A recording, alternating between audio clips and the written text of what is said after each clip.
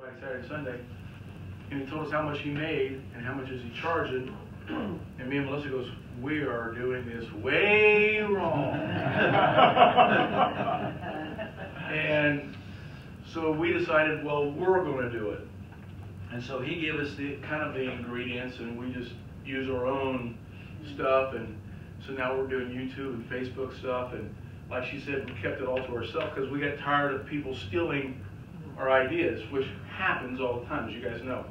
And I've been in the golf business a long time, and I've been very blessed. I I worked under or with or took lessons from either Bob Toski, Jimmy Ballard, Butch Harmon, Claude Harmon, Hank Haney, David Leadbetter. I've been around all of them.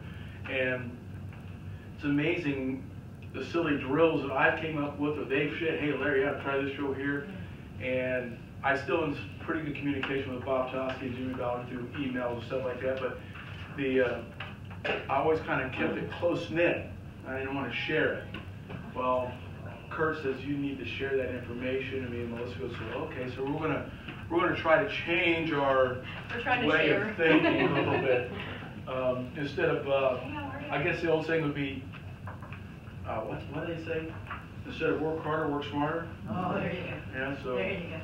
Instead of giving that many lessons in a week, we're gonna try to see if we can narrow it down a little bit. I mean, right now, we're going from basically five thirty in the morning to ten o'clock at night, almost seven days a week, and so we're, been doing that for five years. I bought the place five years ago. Um, Melissa jumped in about year four, so we've been, um, full throttle ever since. It's fun, it has its, um, moments of what are we doing, but we laugh, we haven't really paid ourselves yet. All the money we make goes right back into the business. And um, we're trying to make improvements. When I first bought it, there was hardly any grass on the facility. And so now we're golf professionals who became agronomists overnight, it seems like. And so we've learned more about chemicals and waters and grass and weeds and weeds, weeds that are weeds, the weed that we know is grass, that's a weed. So we've learned more about that part of the golf industry than you can think about. But in a, in a great way, we enjoy getting out there six o'clock in the morning, hopping on a mower, and driving out there as we start cutting, watch the sun and Mother Nature unearth, you know. And we have a family of hawks out there. We have ungodly amount of deer. We get to watch them do their thing. Uh, how the hawks breed is a very unusual thing. They're flying about a thousand feet in the air.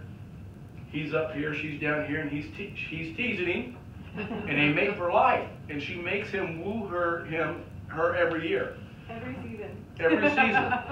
and he'll fly above her, and all of a sudden he attacks her, Oh and they mate in midair as they're flying towards Earth. oh my. And all of a sudden they separate. We get to watch this every year.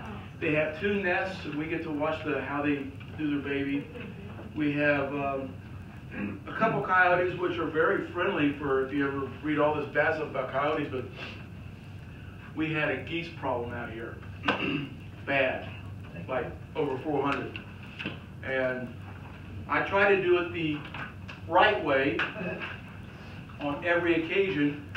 But I grew up on a farm, and there's only one way to get rid of rodents. So I did it that way. And my coyotes got really fat. So at one time I had three, I had eight, then all of a sudden now we're down to three. But um, the uh, it's been every day is a challenge in a great way. Um, every day is a challenge when we give a lesson in a great way. Hi, how are ya? And um, Come over here. I don't like a lot of the instructors you've seen on either on YouTube or on TV or in golf magazines. They have one philosophy, one way to teach, one way to swing the golf club. I don't believe in that theory. Everybody swings differently, walks differently, talks differently, shape differently.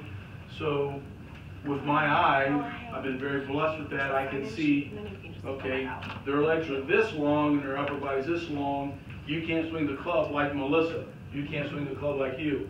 So I find out their leverage point. Once we find out their leverage point, it's like swinging a hammer. How do you swing a hammer? So that's how I teach. Um, I use a lot of drills. We use a lot of mirrors.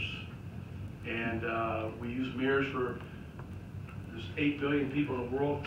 Think of all the technology you guys have seen.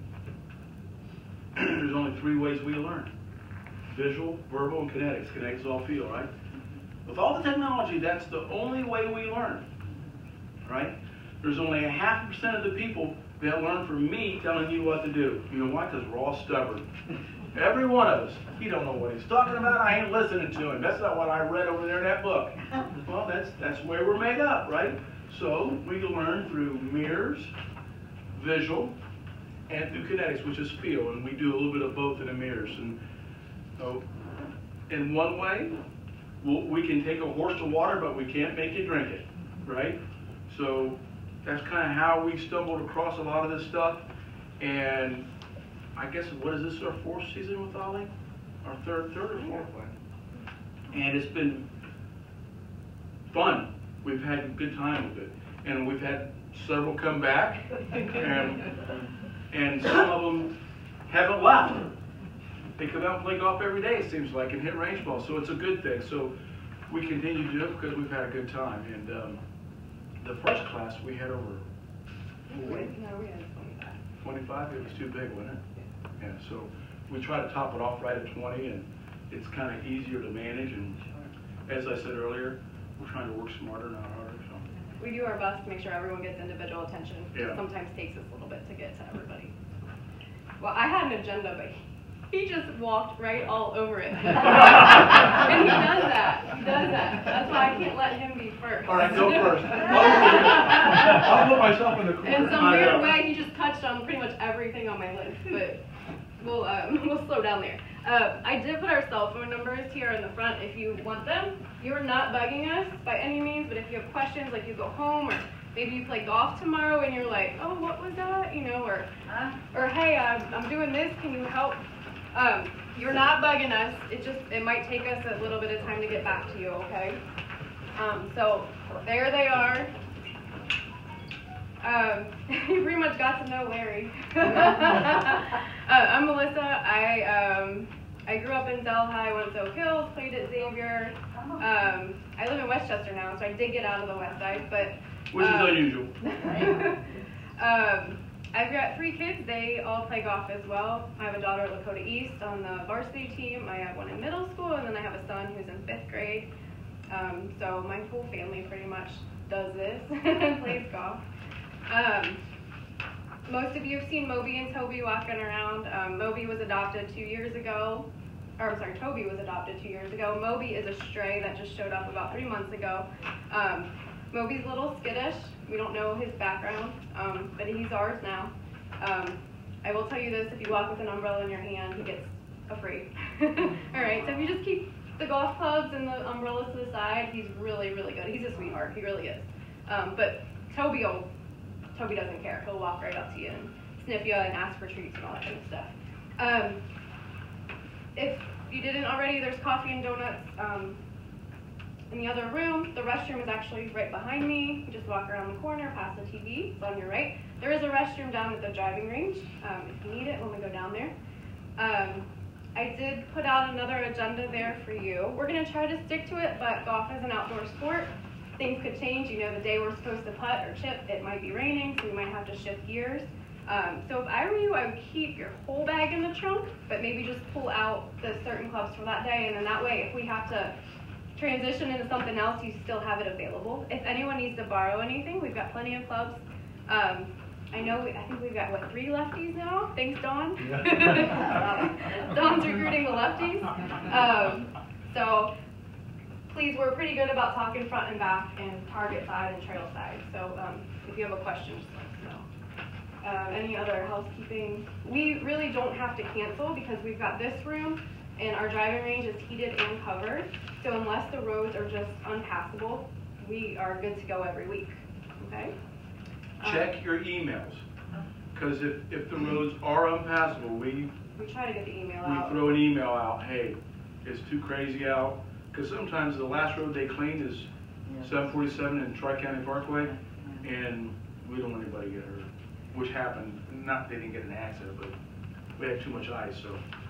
Um, one other thing, if you have any injuries or any concerns over your body and making the golf motion, just let us know because that's what we're really good at. So if we need to make some accommodations, we will. Please don't feel bad about it. He makes about five accommodations every time he swings a golf club. So don't don't feel bad that your body's not quite cooperating, okay? Because we can we can make it work. All right. Um, so today we're going to talk about posture and setup and an intentional practice. And I kind of wanted to start with the intentional practice part, and he kind of already jumped in there with our mirrors and you got to do it and that kind of stuff. Um, but change can be scary. You know, we we all fear change and we're kind of addicted to certainty. Like we don't want to know exactly what's going to happen, which come next week everyone will expect to meet in here. And if we meet you somewhere else, you'll be off off just a little bit because I didn't we didn't meet right in this room. Um, and we're not usually okay with not knowing what's going to happen. We all want that certainty. We want to know what's going to happen. Um, so what we're asking you is to try to trust in the learning process. Do it our way for the next eight weeks, all right? It, it'll be different. We don't do it like anybody else, okay? So just try it on for size. But it takes a lot of courage to learn something new about yourself. So congratulations and welcome. And you might find out things about yourself that, ooh, I didn't want to really know that. But hey, that's awesome. You're going to learn some new stuff. Um, but it's only when we change the old habits and stop the old patterns that we can actually put the new in. So even if you're only opening your mind for one hour when you're with us, that is so much better than not opening your mind and your body to change it all. Okay? So hopefully we'll get some new stuff to filter in there. All right? Um, like he said, there's a that pyramid that I printed off there, and it's funny because that's actually what they gave us at OLLI. But basically, the way others learn, people learn, your best way is to go home and teach this to somebody else. Even if they don't play golf, say, hey, can you just listen to me for like 10 minutes and I'm going to tell you all about golf, okay? And if you can teach someone, you're going to learn so much faster, okay? The other way is like Larry said, mirrors and drills and visualization. So if you can stand in a mirror, and it can be that $10 mirror from Walmart that's on the back of your bedroom door. You don't need a club if you can get in front of the mirror and say, okay, this is my posture. That's what I look like. Okay, am I are my shoulders over my toes? Do I have enough hip tilt? Um, you can even get in front of the mirror without a club and you can make some rotations. Okay, but just watch yourself. And a lot of us struggle looking ourselves in the mirror, like actually looking at ourselves in the mirror. So understand, we're not judging. Okay, we have a couple mirrors in here that are very flattering. there are a couple that you're like, ooh, I'm gonna, I'm gonna move away from this one. But just understand, we're not judging what we see. We're just trying to learn. We're trying to feel what our body's feeling, learn where our positions are, okay? Um, but if you can really just start to look at yourself in the mirror when you're not brushing your teeth or just brushing your hair real quick, okay? Um, the only way to really improve the golf motion is to actually do the golf motion. Okay, so we're to show you drills, we're to show you exercises to help your body do it, but you have to actually swing a club. So sorry. you actually have to do it. So even if it's in your backyard, like five swings before work, or five swings when you get home at night, or five swings at lunchtime, you're actually doing it, and that's okay. We're not saying hit 200 balls, because if you hit 200 golf balls and you're not paying attention to what you're doing, that is so much worse than if you do five swings and you're really in tune. Okay? So if your brain can only handle five, do five. If your brain can handle 80, do 80. But be careful. Let's not go through the motions. So that goes Okay. into two stories. One, one story is that when you're practicing, which I hope me and Melissa both hope you will get out there and practice. If we give you five drills, don't try to do all five drills or all five things at one time. Take five balls, I'm going to only work on this one. Then take the next five balls and go, I'm going to work on this one. And the reason why, I befriended Arnold Palmer. I played a lot in his skins game when I was on and off the tour down in Orlando.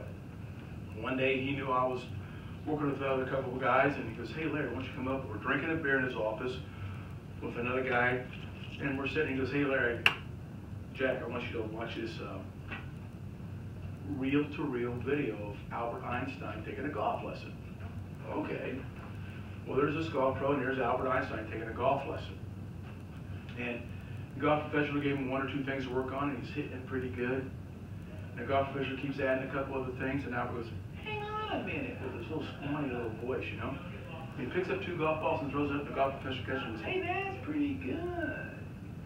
He reaches down and grabs five or six of them up in the air, and the golf professional goes like that, and goes, I might be considered the smartest man in the world, but I can only work on two things at once. Don't overload my brain. so it's called paralysis by analysis. If we get too much information in here, we can't really move, right? So when you practice, like she said, five balls, just work on those five things, those one thing, that one thing on those five, and another thing on the next five balls. So it's easier on the brain. Was there a second story? okay. Um, smart, smart. so the uh, crazy part about your central nervous system is if we don't have balance and functionality, it will kind of shut down. So golf is a very complex activity. Over 300 muscles are in motion all at the same time, which is kind of crazy. So understand if we're doing um, something simple like maybe some half swings and you're kind of like, I want to hit driver, I want to hit driver. We do, we all do. But hitting a driver is a lot complex, more complex motion than just hitting some half swings. So if our brain can't handle the balance and the stability of hitting a half swing, it's not going to be ready for a driver. Okay, so baby steps. And like you saw on the agenda, there is there's a driver on there. We are going to hit drivers. Okay, but we got to get our central nervous system on board. So basic things like working on your balance at the gym, or even just walking, or maybe some of you are into yoga or riding bikes and stuff like that. That's all going to help us with our golf body. Okay, so anything you can do like that. Um, the other thing, the mirror work. The slower you go, the better it is for your body. So if you get in front of a mirror and you're like, wait, there's one. Melissa said five, two, three, four, five. Your, your body's actually going to work better if you're like, okay, here's my setup, and I'm just going to take it back to here, and I'm going to look, and then I'm going to take it to here, and I'm going to look, and then here. That doesn't mean you can't pick up speed, but do it in slow motion. Let your body learn and adapt, and it actually will change your brain. It's going to change the way your brain thinks just by moving your body. Okay? All right. Any questions about that part? Come on now, you guys are OLLI people. I know there's a million So we're gonna jump in with posture, okay?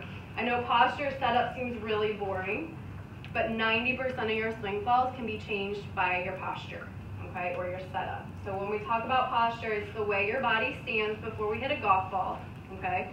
Um, golf gets a pretty bad rap as far as destroying people's backs and stuff from the shoulders and knees and stuff like that. But if we do it properly, and if you communicate with us, we can get you in a setup position that doesn't hurt your body. Okay? So our or whole goal. swing, yeah. Yeah, our whole goal is to get your skeleton to support itself. So when we stand up tall, our skeleton is supporting. Our feet are underneath our hips, our shoulders are over our hips, and so on. But if I stand like this, I'm not going to be able to do it for a real long time because my skeleton is no longer supporting my upper body. That requires muscles, tendons, ligaments, all that good stuff. So I'm going to let Larry get into his golf posture. When he gets into golf posture, the whole idea is that he is supporting himself from his feet all the way up. So get in your golf What posture. side? What's that? What view? What view? Just think flat. Okay. So what I try to do, I try to stand like this, even when I go practice. Even when I'm playing in tournaments, I kind of do this. I do it so fast, though you don't realize it. I try to get my feet in line. So I take my shoulders over my hips, my hips over my knees, my knees over my feet. So I should be skeleton-wise in good spot.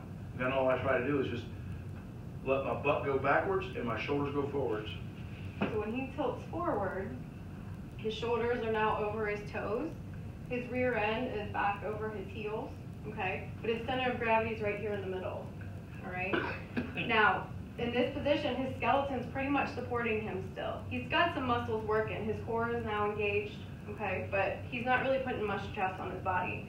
If I move his hands out away from his body, this is going to put a tremendous amount of pressure on his low back, okay?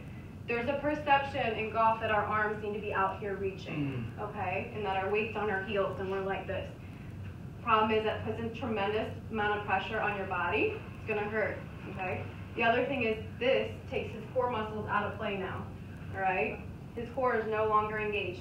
Our core muscles, our stomach, our back, our glutes, our hamstrings, our quads, that's what we're going to hit the golf ball with. Those are our big muscles. That's what we're going to use to hit the golf ball. Okay? If he tries to hit with his biceps, golf ball is not going to go nearly as far as if he can try to get his whole body engaged. Okay? And he's going to hurt. He's really going to hurt. Okay? So when we look at you and we say, get closer to the golf ball, get closer, I feel scrunched, I can't, you know, you actually have plenty of room. If we start here, okay, you should be able to return to here at impact, all right? However, most people work their up. hands out away from their body, okay? And we have a few that actually get closer to their body, and this is what they're afraid of, okay? We're afraid of getting our, in our own way. But if we start here, we should be able to return to here, provided we stay in our posture, okay? And that's the hard part, okay? Yeah, Ms. Pat. Um, now you're talking about that posture, is that for every club, the same? That's for Every every club. You got it. Yeah, every club. So even with driver, this is when we really start to notice people start reaching. Your driver still needs to be low here with the hands. Okay? You will be farther away from the golf ball because of the length of the club, but you're gonna you're gonna be in this same setup position. This is a very strong position.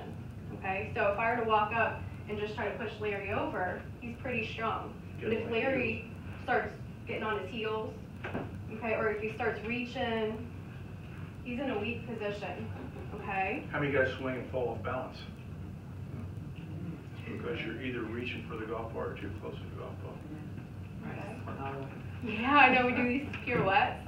It's funny, you know, we talked about taking care of the tee boxes. We see we see evidence of pirouettes on boxes when we go to cut. It's so funny. Or like I'm playing in a tournament and I know who's playing before me, and I look down, I'm like, man, they've got bad footwork, you know. so um, there's evidence. You leave evidence behind. you, All right. So please, when we say get closer, there's a reason why. We're, we don't want you to feel crowded, and you will get used to it. Just stay there. Just stay. All right. You'll you'll find it. Just stay. So Um, that all goes back to another story. I'm sorry, I have one more. Go ahead, Beth. Flat footed? The setup, your, your feet are flat, you're not, We're towards the balls of your feet, so you're a little more You are, forward. yeah. Yeah. So it's kind of like a um, defensive position. Okay. Um, with our wedges, we're going to be pretty neutral as far as right to left and front and back. But once we get to like our eight iron, we want to have more weight loaded in that back leg, about 80% in your back leg. All right. The 80% stays there during your entire backswing, and then after impact, we're going to shift our weight into our forward leg. Keyword, After, after impact. After. We're trying to keep our spine behind the golf ball. I know it sounds funny, but if you're throwing a baseball to someone, you don't like excessively lean forward, all right? You stay behind it and you release it and then you follow it, okay? It's the same in golf, right? Story? Talking about distance from the golf ball. So I watched Jimmy Ballard give a golf lesson one time. I'm down there hitting range balls, and this person was like way out of here all the time. I just I hate. I feel so much stronger from there. And Jimmy Ballard and Bob Toski taught the same place, and they're they're pretty eccentric when you argue with them. He goes, hang on one minute. I'll be right back. He goes down in the maintenance barn, comes back with a 50 pound bag of fert, fertilizer. He goes, stick your arm straight out. Holds him out here, puts that 50 pounds. He goes, whoa! He goes, I thought you were strong, that they could hit it far. He goes, "Then put your arm right here close to your side. He put the 50 pounds right here, and he goes, I guarantee you can throw that bag of sand or fertilizer as far as you want that way. He couldn't throw it from here. He put it right here. Now he could use his core and his body to help him throw that bag of 50 pounds. Put the 50 pounds out here, he was falling off weight, couldn't throw it. So, always remember, I'm that Ballard guy. You say you can't do so, wait a minute now. And then understand your body proportions um, affect that setup position. So if you have really long arms, you might actually um, look like you're crouched over more, Yeah. but you're really not. So we're looking basically 42 to 46 degrees of tilt, which you don't need to know that part. But um, when you look around that someone has really long legs, they may look like they're standing taller than that. They still do have that tilt. Okay, just understand that it's their body proportions. None of us are the same. So it might look different to someone else, but we're, our goal is to get those shoulders over your toes. And that's something you can do in the mirror. Just stand there, this way, like, okay, my shoulders are right over my You, you, can you tell right now the organized one and the? Oh my goodness. Um, another note, if your upper back is rounded, it will put pressure on your low back. So when we get set up, I, I call it like feeling you're high in your chest. You're still tilted forward, but our chest feels high because we want to try to keep our upper back straight. And I understand 40, 50 years of maybe sitting behind a desk or driving a car and all that kind of stuff, it's, we tend to go this way. So there are exercises we can help with that. But your goal is to feel tall here. Now, the other thing is bifocals, okay? So we we want to try to feel like we're looking over the golf ball, but I understand what you might be wearing on your eyes or in your eyes might affect that. So that's where we just have to tinker, okay? There's really no right or wrong. We're just trying to make you more efficient in what you do. Um, the other thing with our feet, we want to, with our forward foot, it receives about four to five times your body weight in that forward knee and hip on our way through, okay? So we like to turn the toes out so that you've got space to do that and take pressure off of your hip and knee. So that's why Tiger blew out his knee, what, 19 or 2004, He's blown it out three 2005? times, because his front foot was square. Okay, and his he's got, you know, he's got his body weight, but his momentum into the golf ball is a little bit different than ours. Okay. Once he play golf now, his front foot's flared out twenty-five to thirty degrees. And again, we're not Tiger's age, but if you look at all the senior players, watch their front foot. That front foot is flared out almost thirty degrees, so that allows their hip and take the pressure off their knee when they go through. Because we do need a finish, we need a follow through. All right. Okay. Um, we can also make accommodations with the feet if we have maybe a trouble rotating, say on the way back. So if Larry's struggling with his rotation, which he tends to do, his right side is um, Jacked up. struggling a little bit. So when he gets set up, he might pull his back foot back so that he can actually turn bigger. Okay? Just the opposite, if he's having trouble with his left side getting through to the target, he'll pull his left foot back and try to work through the target. So we have a lot of people say, I can't rotate, I can't rotate. Well, we might be able to pull your back foot back, and now you can make a bigger turn. Okay? Understand, men, your hips are generally tighter than ours. Okay? They have a different purpose, and that's okay. All right? Also, the hip, there's a muscle deep on the inside. It wasn't meant to slide and rotate. It can rotate or it can slide, but it can't do both at the same time. So it will lock up. Okay? So what we mean by slide is when your center, right? You can think of your heart, you can think of your sternum, whatever you think of. When your center moves off the golf ball, either during your backswing or your forward motion, that's a slide or a sway. right? We want our center over the golf ball as long as possible. That's where our power is going to be. Right? This is your hitting area. This is where all your power is. And if we move off of that, we're going to lose efficiency. Okay? That doesn't mean we're all perfect and we can stay over there all the time. But the better I can stay here and make my motion, the better shot I'm going to hit. But don't keep your head down. How many times, how many times you guys heard that? Keep your head down, keep your head down. Turn around and kick that person right in the butt. The head is not meant to stay down. The head is meant to swivel. Because it's on your spine. It's on it your wants spine, to go it's where your meant to spine swivel. goes. The only thing that's looking at the golf ball is your eyeballs, not your head. So does this look natural to you guys?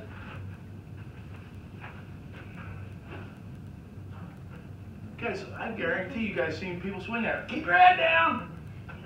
The head is meant to swivel so I can move through the shot. Okay? So the head is not meant to stay down. It's meant to swivel. Your eyeballs know where the golf ball is. And chances are, if we're still topping it or hitting behind it, that's because your center's moving off. Yeah, this. Okay, not your head, but your center's moving. Which hopefully our head is on our center. Not always. Alright. Um, so let's go into grip. Our goal is to get your dominant hand to do most of the work. Okay? So, you know, whether you're right-handed and choosing to play left-handed, or you're left-handed and choosing to play right-handed, or you're right-handed playing right-handed, we want that dominant hand taken over. That's your strength. Okay? Um, so that's our goal. Get the dominant hand working. All right? Um, the interlock grip, Jack Nicklaus was a proponent, Tiger Woods is a proponent. They did not like to see their golf ball move from right to left, or a draw or a hook, however you want to look at it. Okay? So they interlocked their pinky finger and their forefinger so that they would always hit the ball left to right. Okay? Now, Nicklaus, when in his heyday, everyone was listening to every single thing he said. So everyone adopted this interlock grip, but it's not really good for everybody. Okay? Especially So- if you have a problem hitting it to the, If you're right-handed, and you hit it to the right, or lefty, and you hit it left, and we don't like, if you don't like that shot, you get to choose your shot, by the way. You get to choose which way it goes. You just have to let us know what your eyeball Right. likes, okay? Um, so we usually start everyone out with ten finger, okay, which is everything in a row. Or you might overlap, okay? You can overlap your pinky over your forefinger. Those both use your dominant hand to hit the golf ball, okay? Um, however, if you if you if you choose a shot shape and it's not quite working for you, we'll we'll play with your grip a little bit and see if, if you like that better. Okay? No one likes grip changes. the way. It's our feel. Okay? Grip changes are hard. okay? So it might require you sitting at the dinner table or watching TV and just putting your hands on the club for a couple minutes every night. Like, okay, that's where I want my hands. That's where I want my hands. And you will have to practice your grip change. All right? If if we don't if you don't hit a golf ball before next Wednesday and we made a grip change, it might be difficult next Wednesday because we'll have to kind of redo it again, okay? So that goes back to practice. But understand grip changes are difficult and we understand that and we try, we almost avoid it unless we really, really have to change it. All right? Um, so be patient with those. But that goes back to the shot shape. Eventually, we're going to learn how to create whatever shot you want to hit but you have to let us know what you see. Okay, so my golf ball goes really high, his doesn't. So when I see a shot, I always see high. He sees more of like a medium trajectory. Okay, it's a lot easier for him to hit a low shot than it is for me. Doesn't mean I can't, but it's harder. Um, everyone has their own idea of what they want their golf ball to do. So you just have to let us know what that is, and we'll try to get your body to help you with it. Okay, so there's no right or wrong you know, Pat's husband isn't here today, but I'm sure he has an idea of of how her golf ball should go. Absolutely. Yeah. and then next week when they play, she's gonna be like, Melissa said not to listen to you. So, I know, I wish she was here. uh, right? Okay? Yeah. So understand it's personal. Yeah. Um, my husband said, well, it depends too on the type of club you're using, It can. whether it'll be up or go like that. You got it. Yep. Don't change your grip. Correct. Correct. Unless unless we want to, there are ways to change your grip to make a drastic swing change for like a shot. Let's say we have to hit around a tree or whatever. But for the most part, 99% of the time, you're going to have your hands on the club the same way every time. Okay. Yep. But you're right. Depending on what club you have, will determine how high it goes. All that good stuff. Yep. Perfect. Perfect. Perfect. All right. Um, ball position. Our job is to try to stay over our golf ball as long as possible. Okay, so that's that means our center is over the golf ball. So when we turn turn back, if I'm over here, I'm not over the golf ball anymore.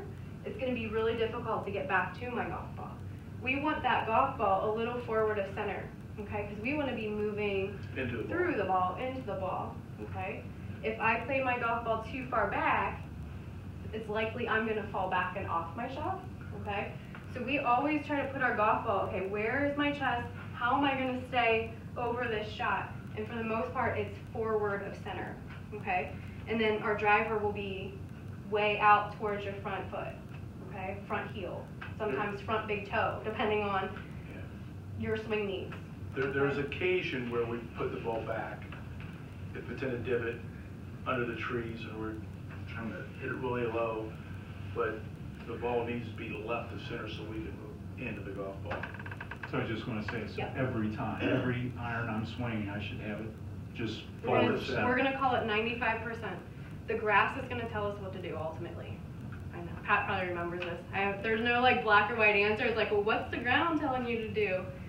Yeah, but for the most part, especially when we're down hitting on the mats and you can create your own lie, or when we're out in the grass and you can create your own lie, it's gonna be forward to center. Yeah, Even when you're chipping? I always thought it was, no? depends what kind of chip shot you're hitting. Okay. um, the the sand wedge chip shot we use like 90% of the time it's going to be forward but again the grass might determine something different but if we're going to hit something low and running okay so your back foot is going to allow you to roll a shot your front foot is going to allow you to get it up in the air Does that help? So if you're right-handed, sorry, if you're right-handed, right for roll, left for loft. Doesn't work if you're right, sorry. All right, right for roll, left for loft. I like, I like to show this, and it might be hard for everybody to see this, but if I put my feet together, the ball's right in the middle of my stance, right? So if I move both feet, did the ball position move? Didn't, did it? Put my feet together, I'm just gonna move my right foot. Did the ball position change? Yes. It did? Oh. I mean, Did the ball position change? no. The ball position never changes ninety-five percent of the time. Once we're in center, and I like to explain this, I only, I move my back foot and move my left foot just to kind of flare it out. That's where my ball is almost every time when I chip, when I putt, when I, the driver's the only one for me that moves up in my stance. The rest of them stay pretty close to there. Now, I'm not as far forward as she is, my legs are a little bit longer than Melissa's. So that changes just what we call a turn of the golf ball. But overall, when I hit a chip shot, and Melissa said it, the ground dictates it, the grass dictates it. So if we can understand the only way to repeat ourselves is to do the same thing over and over and over again. That means the golf ball has to be in the same position every time right? So if the golf ball's moving and you're moving it back in your stance, oh, that's the right way, because they told me to play it back. That's what I read in the book. That's what Sam Snead told me to do. Play it back in my stance. Oh, the seven iron supposed to be here and the six iron supposed to be here. Well, how can you repeat anything if you're constantly moving the ball around in your stance? Do you know how many balls you actually have to hit to create perfect rhythm and timing to move that ball around like that? Probably close to 2,000 balls a day. I don't think your bodies can handle it. Two, I don't think your mind can handle it. And three, I don't think you have the time to do it. Right? The greatest player in the world is Jack Nicklaus. Why? Because he's won more than anybody else in majors, right?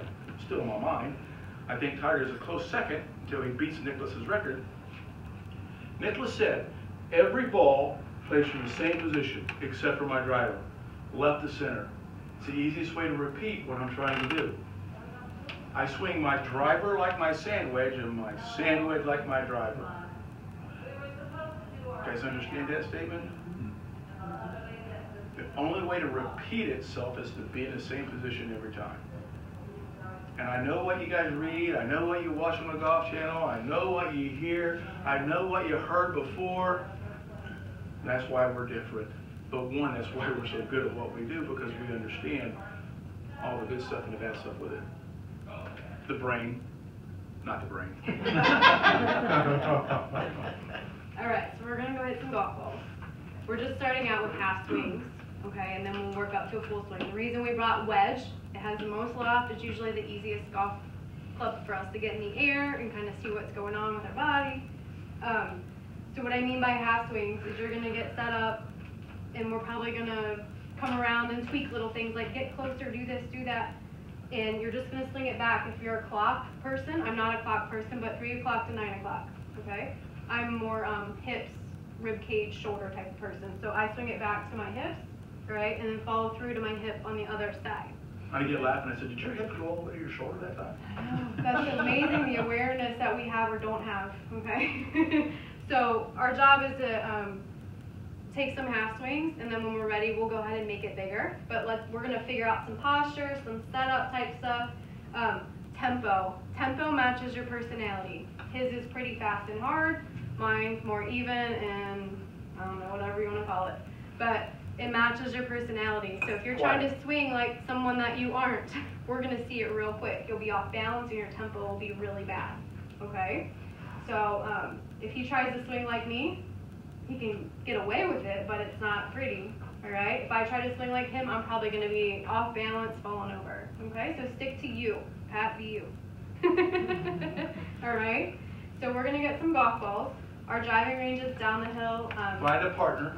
Yeah, we'll partner up. We're gonna hit about five shots and then switch, okay? That way we get some downtime to kind of think about what we're doing and we don't rapid fire, okay? Because then our brain's not involved. Can, And can we get them to do about three minutes of We're, we're gonna stretch when we get Down down there, there, cause you've been sitting for a while, so when we get down there, we'll stretch just a little bit, okay? Show me what it was. Any questions? Does anybody need to borrow a cup today? We good? And there's more coffee and donuts. I don't think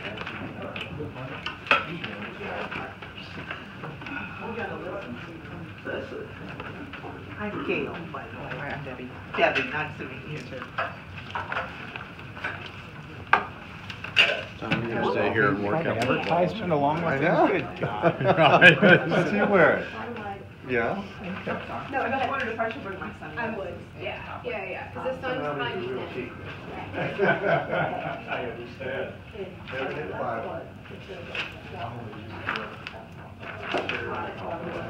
You got it, my dear. That right foot's gonna take some of that lock off of it. Yeah, got it. Here we go. In my brain, The brain understands, but can the body do it? the it, body, right? that body.